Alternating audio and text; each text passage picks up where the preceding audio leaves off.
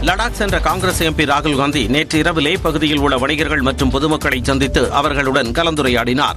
Ladakh union பிரதேசத்திற்கு ஆறு நாள் பயணம் மேற்கொண்டுள்ள ராகுல் காந்தி நேற்று நண்பகலில் கடல் மட்டத்தில் இருந்து பனிரெண்டாயிரத்து தொள்ளாயிரத்து முப்பத்து மூன்று அடி உயரத்தில் லே பகுதியில் இருந்து நாற்பது கிலோமீட்டர் தொலைவில் உள்ள கர்துங்லா பகுதியில் தமது குழுவினருடன் இருசக்கர வாகனத்தில் சென்றார். வழியில் நுப்ரா பள்ளத்தாக்கில் உள்ள ஹண்டர் கிராம மக்களையும் குழந்தைகளையும் சந்தித்து பேசிய ராகுல் அவர்களுடன் புகைப்படம் எடுத்துக் கொண்டார். தொடர்ந்து இரவு லே பகுதியில் உள்ள சந்தைக்கு சென்ற அவர் வணிகர்கள் மற்றும் பொதுமக்களை சந்தித்து கலந்துரையாடினார். அப்போது அவருக்கு உற்சாக வரவேற்பு அளிக்கப்பட்டது.